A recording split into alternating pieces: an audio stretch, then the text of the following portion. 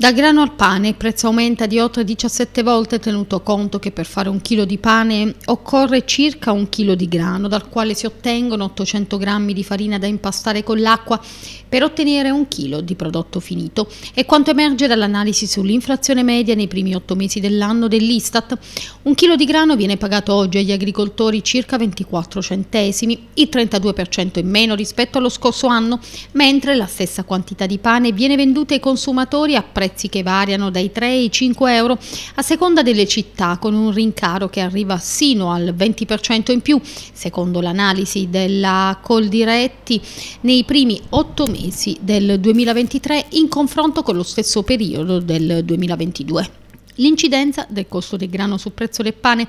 diventa dunque sempre più marginale, tanto da essere scesa ampiamente sotto il 10% in media, come dimostra anche l'estrema variabilità delle quotazioni al dettaglio in Puglia. La Puglia è il principale produttore italiano di grano con 10 milioni di quintali prodotti in media all'anno, ma produce anche grano tenero sui 500.000 quintali annui. La domanda di grano 100% made in Italy si scontra con anni di disattenzione e concorrenza sleale delle importazioni dall'estero, soprattutto da aree del pianeta che non rispettano le stesse regole di sicurezza alimentare e ambientale in vigore in Puglia e in Italia che nell'ultimo decennio hanno portato alla scomparsa di un campo su cinque. Occorre ridurre la dipendenza dall'estero e lavorare da subito nell'ambito del PNRR per accordi di filiera tra imprese agricole ed industriali con precisi obiettivi quantitativi e qualitativi e prezzi equi che non scendano mai sotto i costi di produzione come prevede la nuova legge di contrasto alle pratiche sleali, conclude col diretti, nel sottolineare che serve anche investire per aumentare produzione e le rese dei terreni con bacini di accumulo delle acque piovane per combattere la siccità.